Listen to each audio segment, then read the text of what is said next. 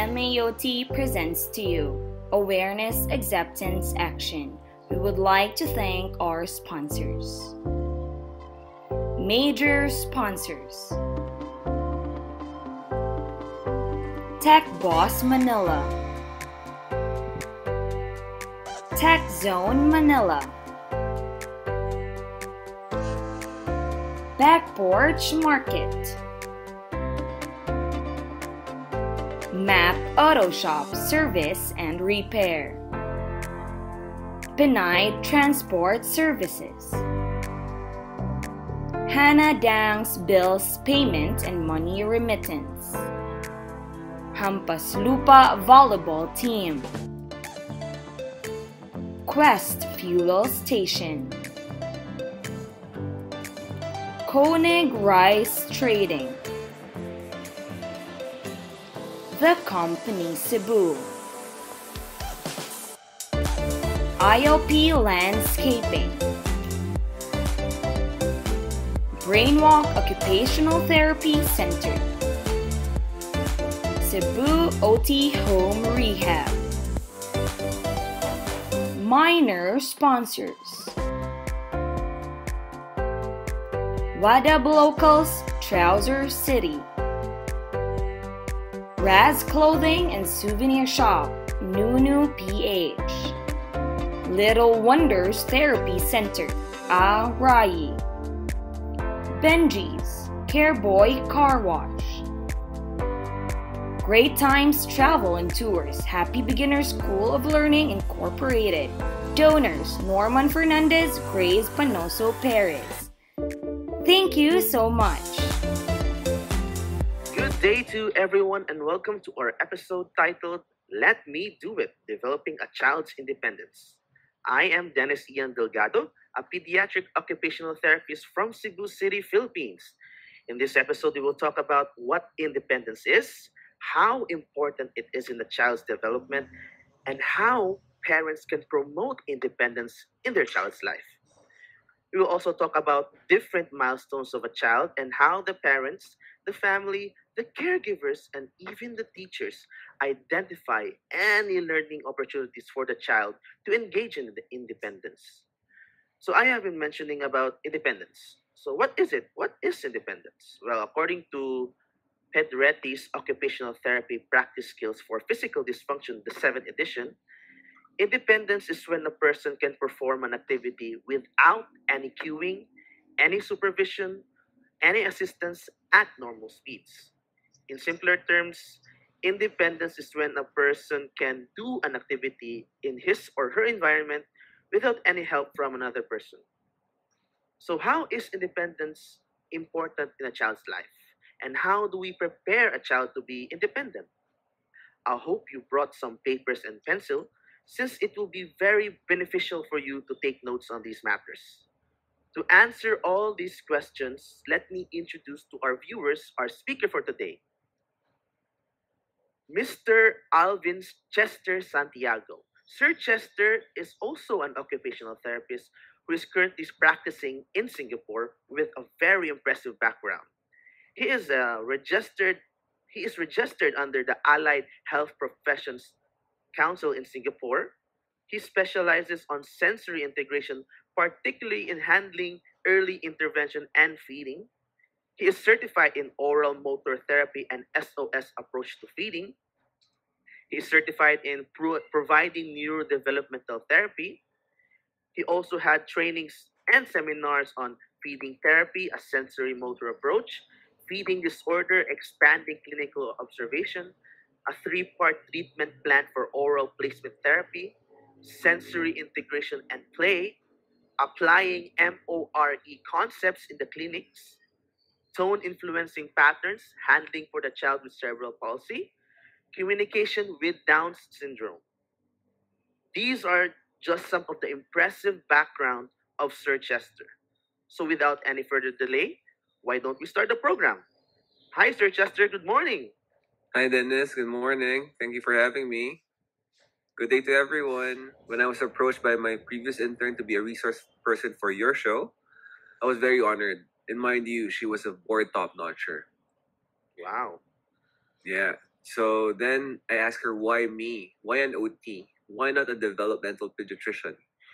Since the practice in the Philippines is that the dev peds would be the case managers and we, the allied health professionals, would be the team. Her answer resonated with me. What is the role of OTs? What is the essence of our profession?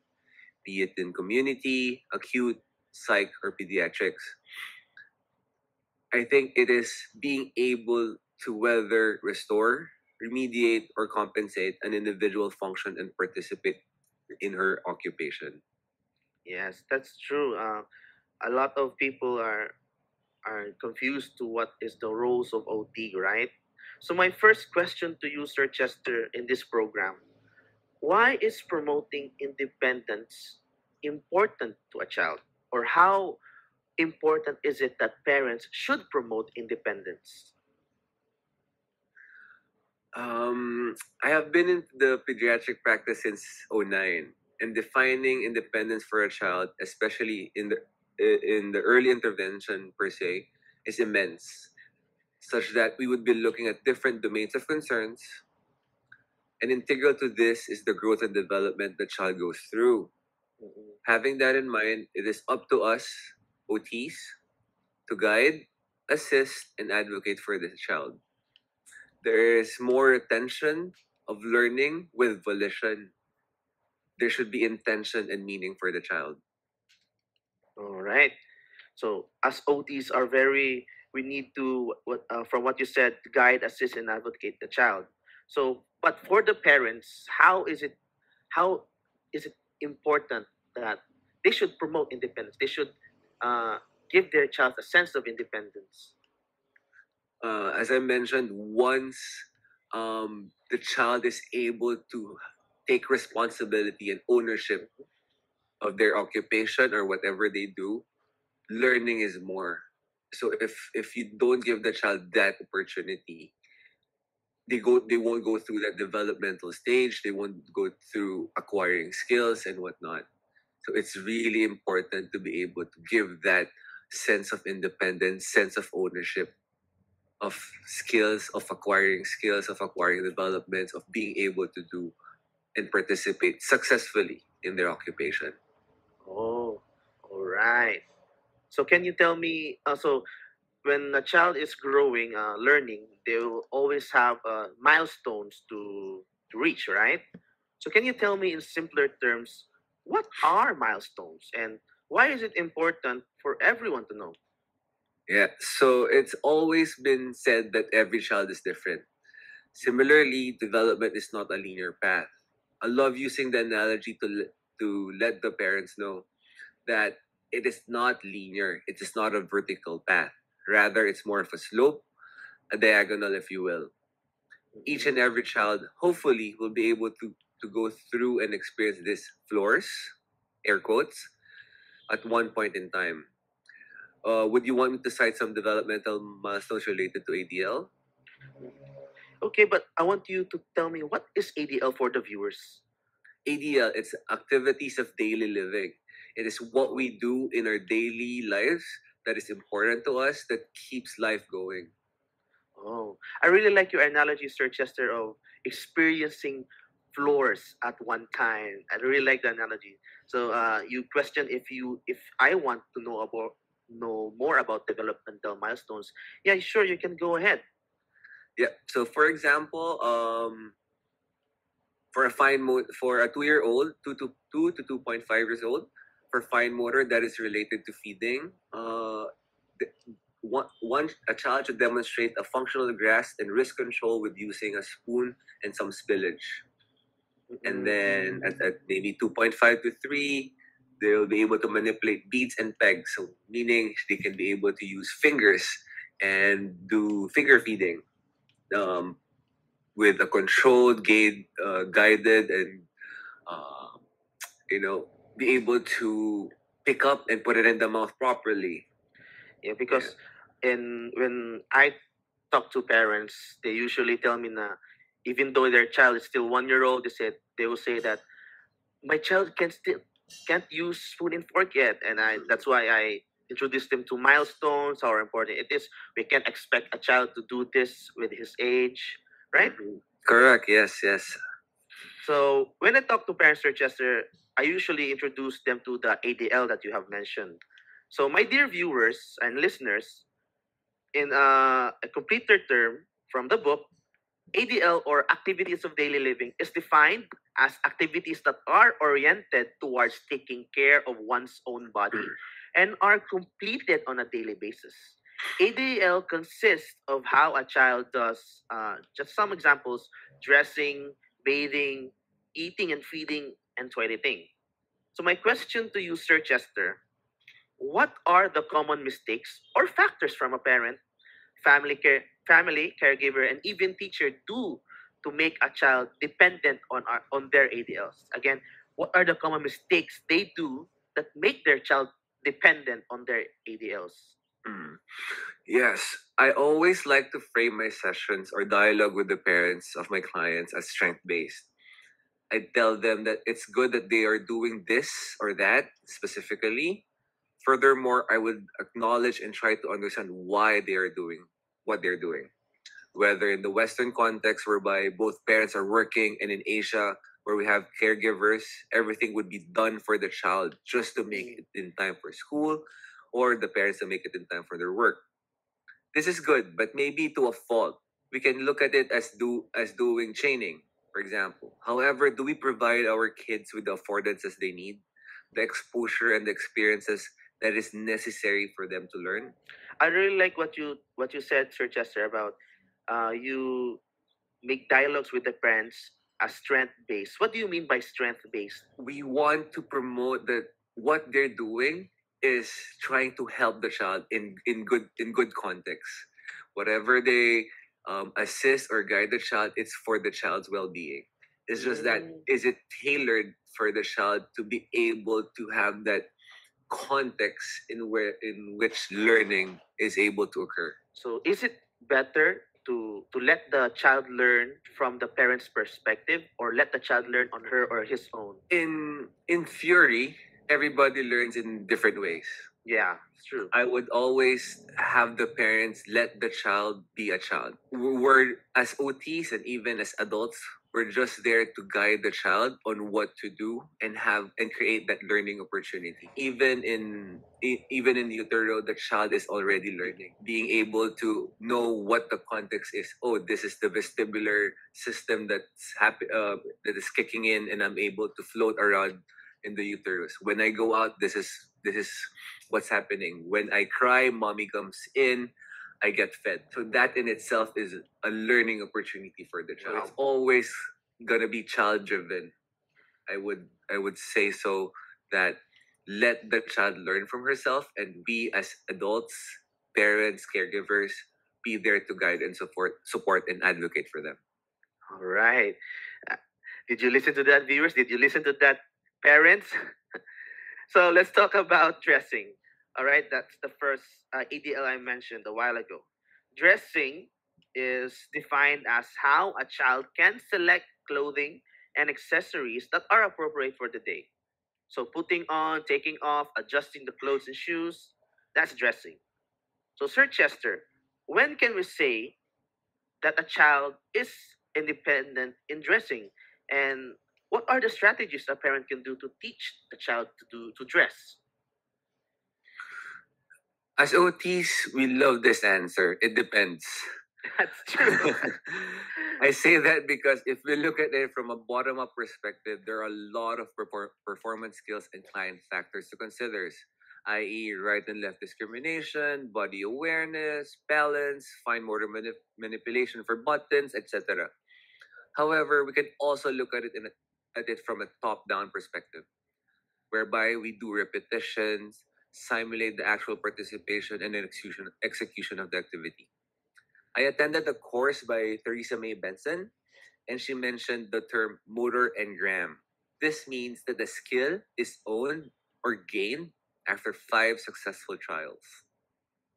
Motor engram that's the first time i heard that term skill is owned and gained after five successful trials all right usually uh, when i talk to the, the parents of my kids they say that uh, where their child is, is now four years old and still can't dress by themselves, they say, dressing is so easy. Why can't they do it? Or what's what's wrong with my child? He can't dress by himself.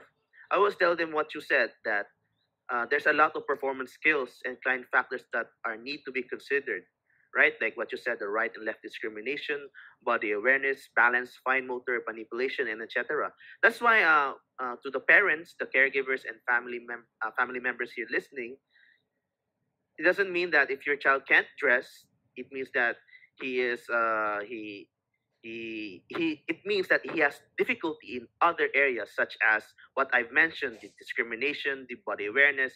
So we can always address that if you come to us ots or or have uh, evaluations right sir chester? Mm-hmm. Correct.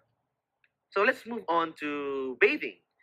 So bathing is defined as obtaining and using soap shampoo or other materials for cleaning oneself.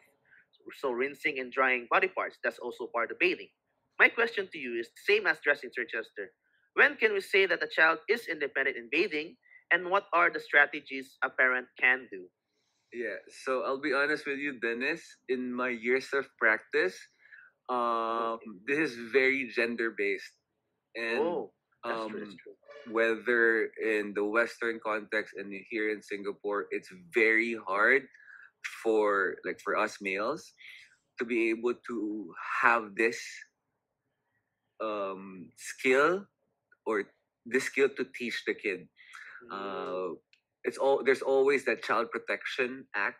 Well, I don't know whether in different countries or what they term it in different countries, but I haven't had the chance to be able to do this. What I what I do say to parents is that always provide that opportunity. Make it more playful, especially for bathing. A lot of kids, a lot of children love to play with water. yes that's true So I'll just tell them that use that as a learning opportunity. Okay. All right. All right. So just let's just move on to the next ADL.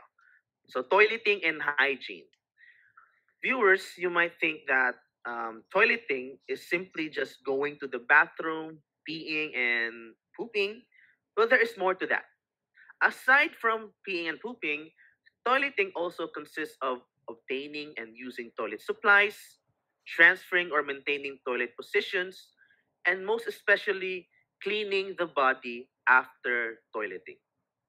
Sir Chester, I have a lot of parents complain that their child does not use the bathroom during toileting activities and would prefer only using diaper. I would like to know how should parents address this issue? How would they teach their child to start using the bathroom from diaper to toilet? What are the strategies, Sir Chester?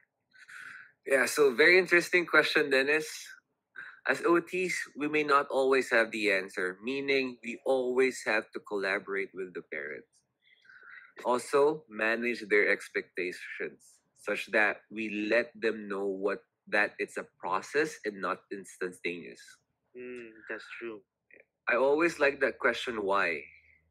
Not just to the parents, but to myself as a clinical practitioner.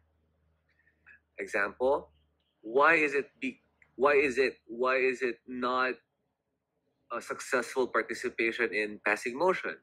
Why is it only in the diaper? Mm-mm. Is it because of posture? Is it because of depth, stability? Does the child feel insecure while on the toilet seat? Why? Is it more of a pattern that the child was able to relate passing motion when or if he is on a diaper, he or she is in a diaper? And lastly, why? Is it sensory? Interoception? Do they feel the peristalsis, movement, and stretch of their bowels and bladders? I'm currently doing a course by Kim Barthel, and she advocates for a safe space and emotional attachment. In terms of passing urine in motion, make sure that the child feels safe, both motorically and emotionally.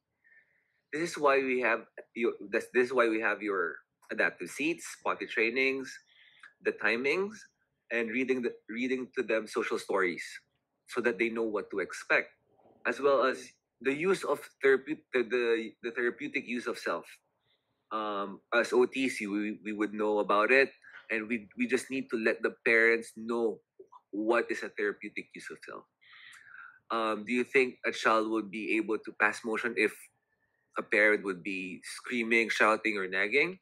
So Mm. the pressure of relieving plus a constant pressure of being able to perform when the parent is there, totally whole different topic. Remember, these are involuntary biological functions.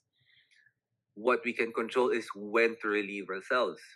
And imagine a child that is still learning about himself or herself and his environment. I think that's a one Herculean task. Mm. So what you're trying to say is uh, when when the parent teaches the child how to toilet in the toilet room, it's not necessarily letting the child go to the toilet directly, immediately, right? Correct. So they have to uh, do uh, some examples from, from what you said, the, the social stories, the timings, the using of adaptive seats to make the child uh, comfortable in the environment. Yes, precisely. Okay, so if you can, if you understand that, viewers, if you want to teach your child to toilet, don't let, don't just put them on the toilet seat and and ask them to pee or to poop.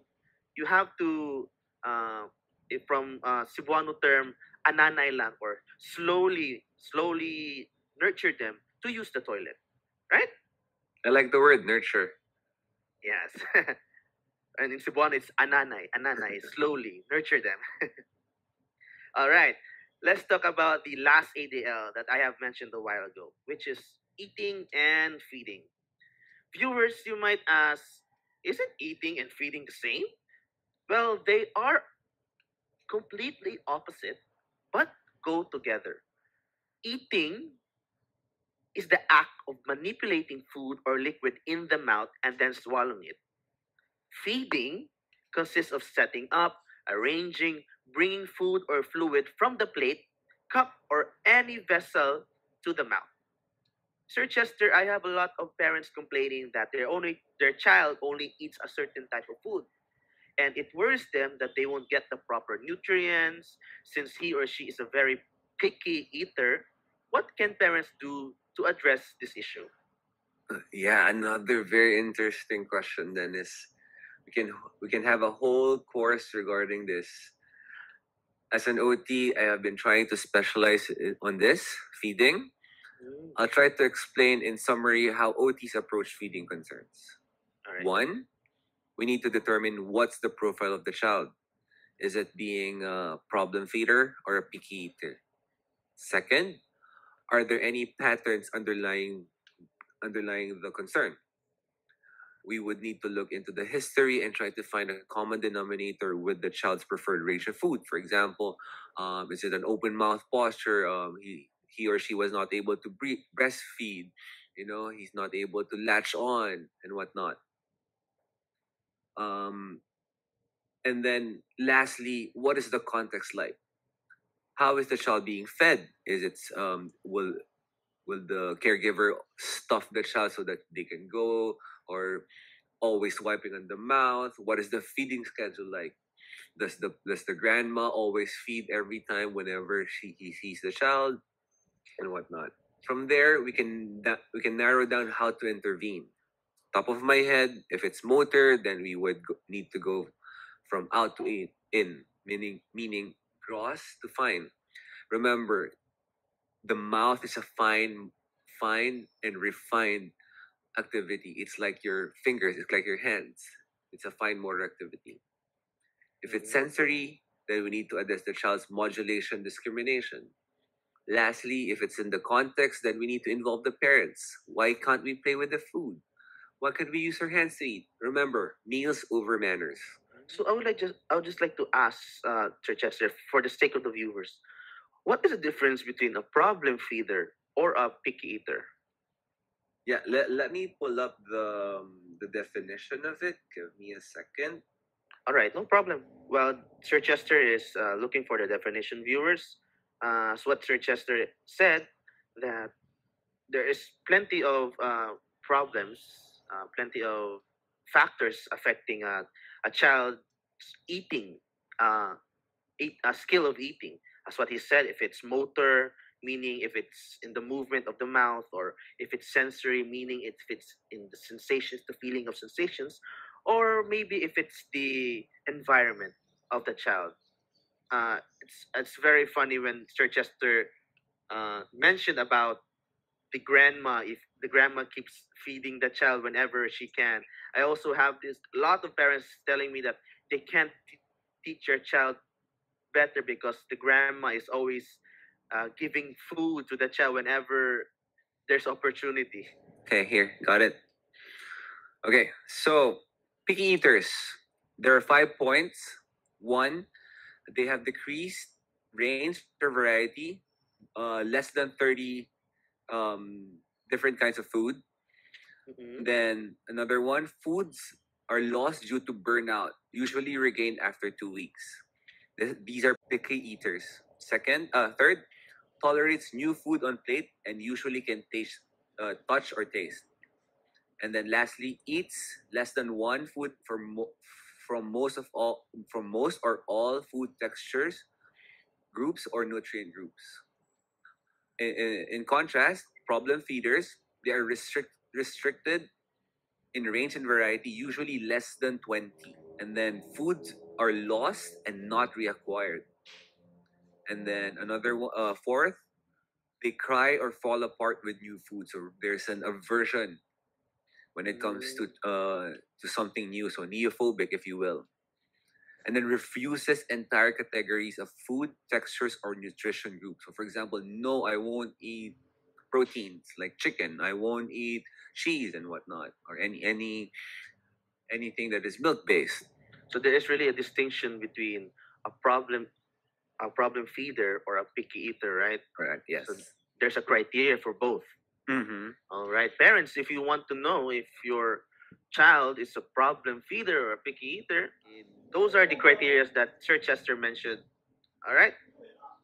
So I always also have parents telling me, Sir Chester, that um, this is a very important question for me, Sir Chester, because even I sometimes have difficulty answering these questions, difficulty uh, giving strategies to the parents. If it's if what I said is right or wrong, I keep I keep researching about this. There's a plenty plenty of answers, but I want to know from your perspective. Um, parents tell me that their child refuses to eat without watching a movie on the TV or the cell phone. So they they feed your child while watching a movie, or they feed your child and then the child goes around the room watching TV, and then they go that the child goes back to the parent or the caregiver and feed them. How can the parents eliminate this type of problem, or is it is it necessary to eliminate this problem? I applaud you guys for including this question, really, and I agree with you. It's a it's a long-standing question, and even I, when I started, it's a very difficult question to answer. Um, research show that by right, zero to seven years old, no screen time. No screen time, No parents. screen time. So funny as it is, it's very difficult. And when I first read that, or when when the, it was first told um, told to me, um, I just shook my head. So let me ask you the same question, Dennis. How much are you attached or even spend time on your phone? Hala, grabe. Ito, I can't, um, literally, uh, not literally, but I can't live without the phone. All the uh, excitement is there. I can talk to friends there, watch movies there, right? From there and from experience, this day and age, it's not doable. these gar- these gadgets are the instant pacifiers for our kids nowadays and even for teenagers adults when once they're bored or even during a social gathering with friends Yeah, that's true. after eating everyone's on their phone yeah. Yeah, Sometimes so- there's a term called uh, picture before eating, not prayer correct. before so do it for the gram yeah. Yeah. so what what we ots can do is just encourage i tell my parents please just control screen time the less the better let them play let them experience Mm. Con- so control the screen time. So what you, what you said, uh, zero to seven, no screen time. So they can give them screen time, but control.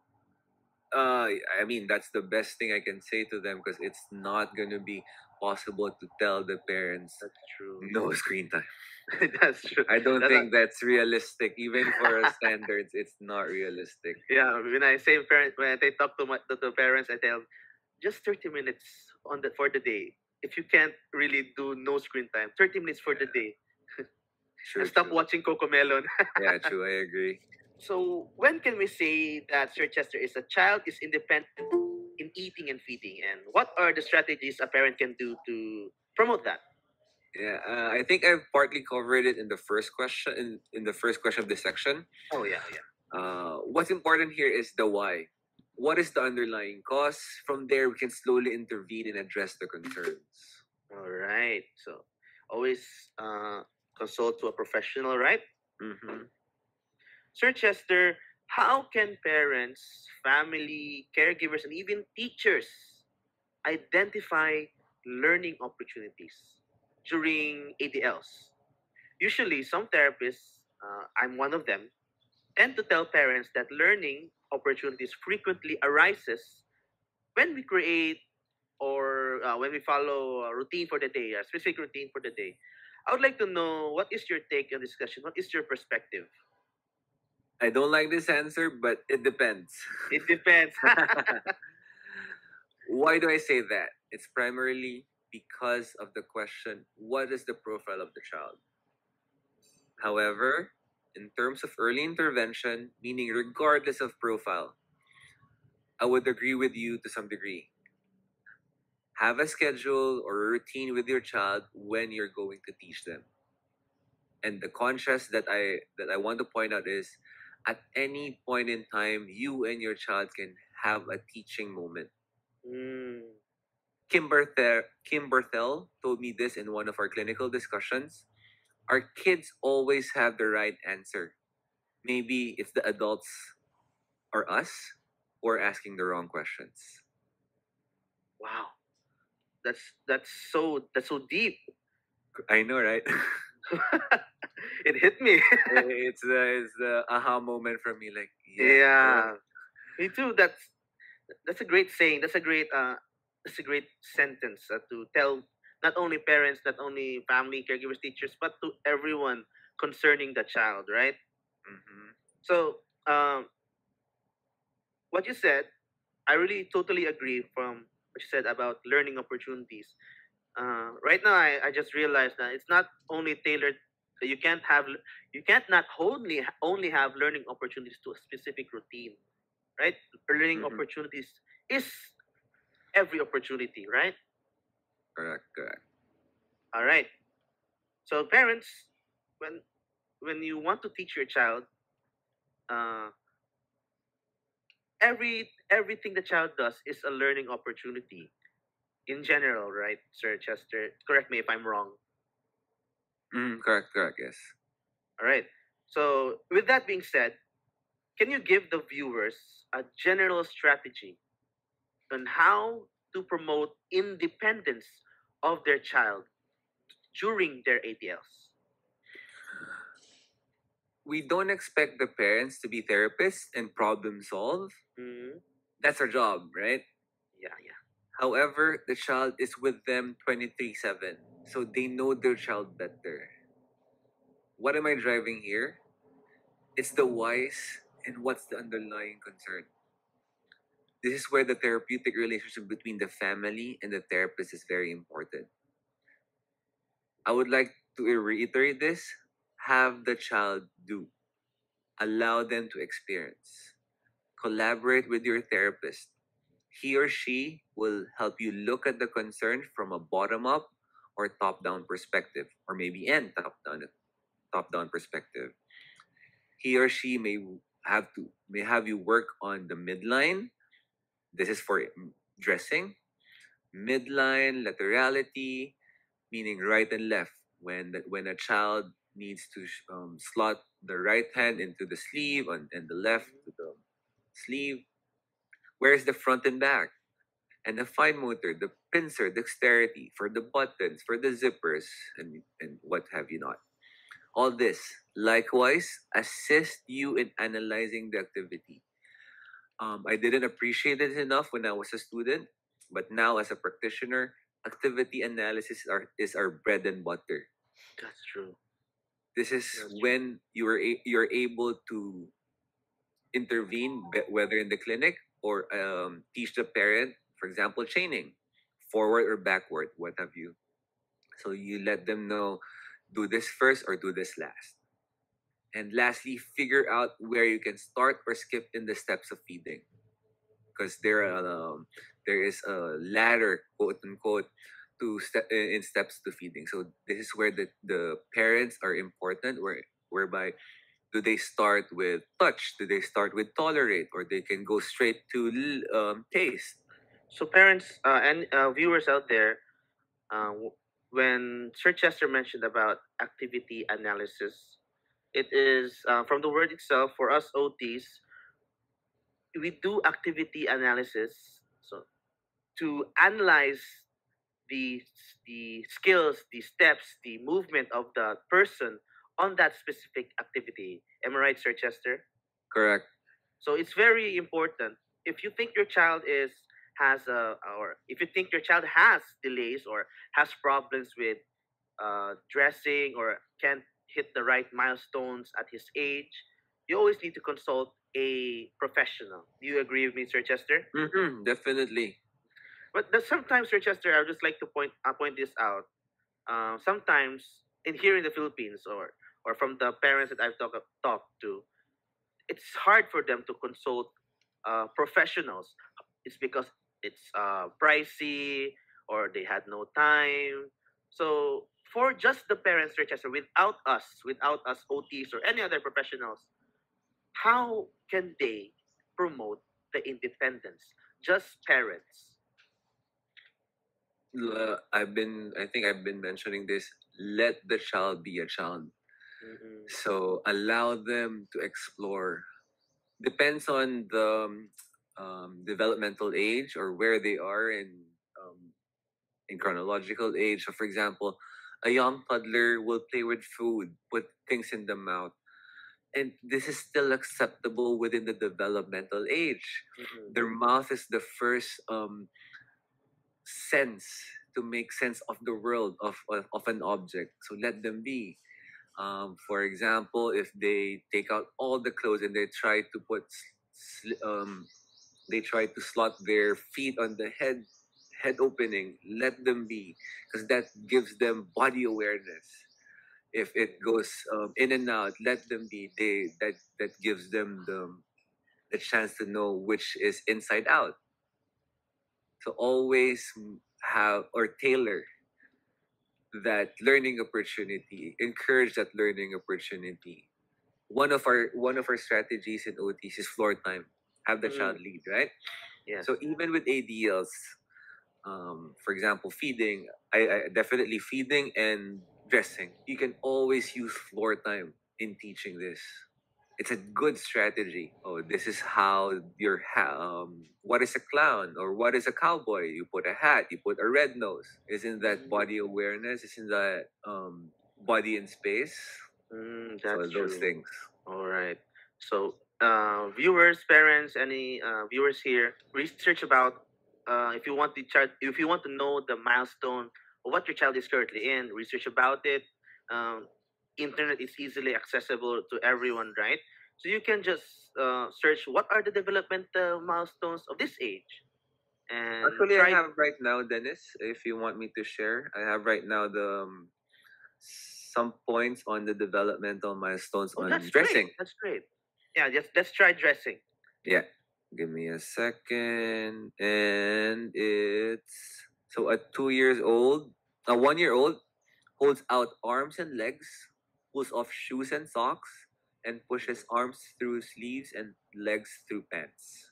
Mm, A at two years year old old. Yeah, that's one year old. Two years old removes unfastened coat, pulls down pants, finds armholes in a t-shirt, and puts on front button coat or shirt.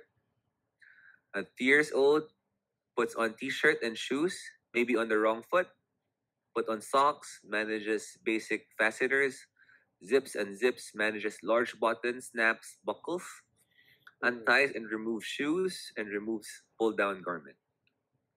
Uh, lastly, four years old manages separating zipper, puts on shoes and socks correctly, dresses completely with few errors, and consistently find front and back of garments. Mm. Those uh, that's, those are from one year old to four years old. Sorry.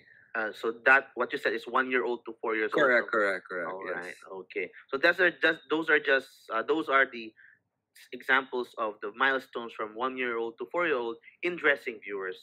Right. If you want to know more, you can consult your professional and OT, development and pediatrician to know more, and even uh, searching it on the internet. There are there, there are very uh, many uh, resources out there. All right. Let's move on to my second to the last question. I think.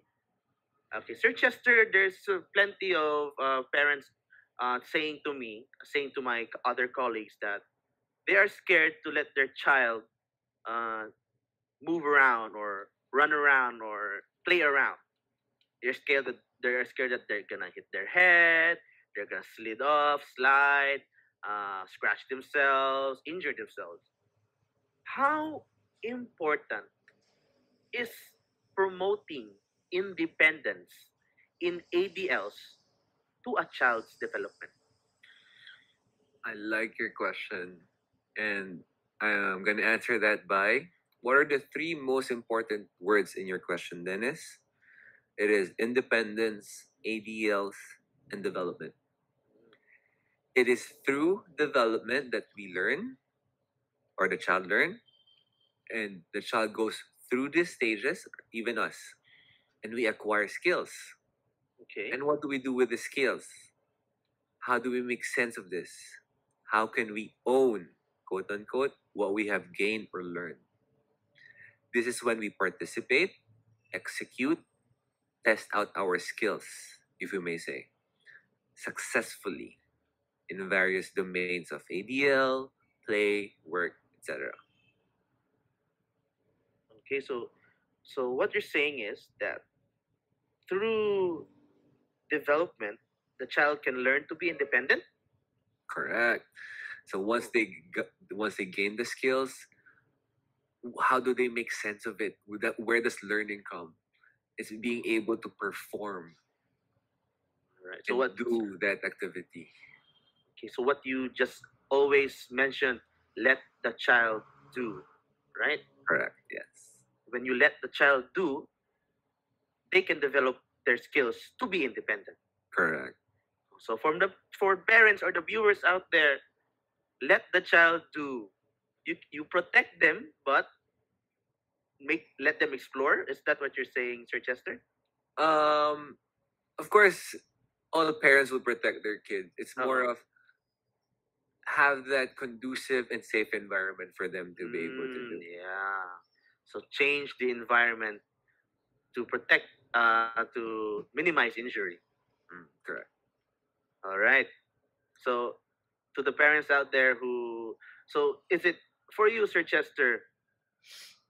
Is it okay to be overprotective or and overly assist, assisting a child in in and every activity? Um, two prefixes were mentioned: overly Mm. protective and, And what's the other overly assisting. Yeah. So anything more than the norm or anything more or a- anything more than what is required is always not is always won't be always won't be good for the child because Mm. that means they're going to be dependent Yes. and we're losing the idea and we're losing the essence of what we're trying to do or Yeah. the child or the parent is trying to do it's taking off the in in independence correct Uh, because a lot of parents tell me that um, ako na lang magbihis sa kanya kasi mabilis or ako na lang kasi it, he's, he's so he looks so uh, tired like that from your Correct. perspective um, from your perspective sir chester how can we encourage not only their parents but also the people around the child omit that that thinking that thinking of let me do it for the child because the child is tired or the child is uh, from Cebuano, Cebuano term luoy. How can we promote uh, tell the people around the child to promote independence? So I'll springboard from what you said, um, and reiterate what I've been trying to tell the your view, your viewers. Let them be kids. Mhm. and I always like what you said like what you just mentioned i always we always hear this dress up quickly buses here or eat or eat quickly or else mom and dad will be late. Eat properly or else you're gonna clean it up you're gonna be dirty. So allow them let them try experience let them do it. Um lately or in this age there is a term helicopter parents helicopter parents yeah. So one is hovering on top of the child. So again, it goes back to taking out the IN in independent. oh hovering over the child i can imagine that so much Yeah. So having that, um, where is the opportunity? Where are the affordances? Will the child be able to do it if someone is again helicoptering above them? Um, then